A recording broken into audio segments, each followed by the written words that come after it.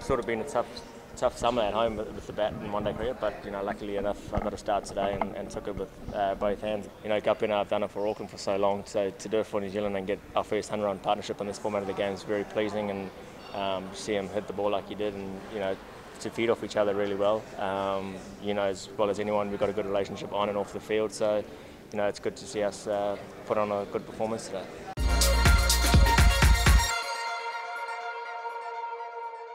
I think we played really good cricket against Bangladesh. We've shown um, in their conditions and our conditions as well. I know these are different conditions, but um, you know we, we play well against them. We've got a good record against them, and I don't think we should um, go in there obviously too confident. But um, you know to take some confidence from this game forward, and uh, the bowlers have bowled well. Like you said, there's a few injuries, but we've got a few days now that the guys can get their bodies right, and hopefully we've got a full uh, strength squad to choose from.